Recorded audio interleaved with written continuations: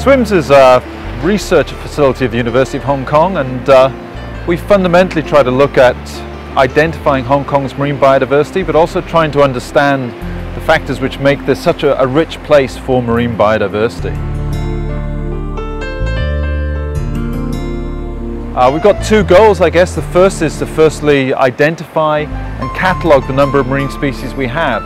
And Hong Kong's got a really, really rich marine biodiversity. Many people are not aware of that. Some of the species here, we don't know what their names should be yet, they're yet to be described. So it's a very exciting region to actually carry out this sort of work. The other work which we do is trying to understand how these organisms interact with their environment. And that's very important because in Hong Kong we've got very strong environmental changes between summer and winter. And we're trying to understand how they cope with things like heat stress and how they cope with typhoons. But also in Hong Kong, of course, we've got a lot of people here and there's a lot of stress from actual human activities like pollution, overfishing and land reclamation. So we're trying to understand how this rich biodiversity can actually survive in this sort of environment.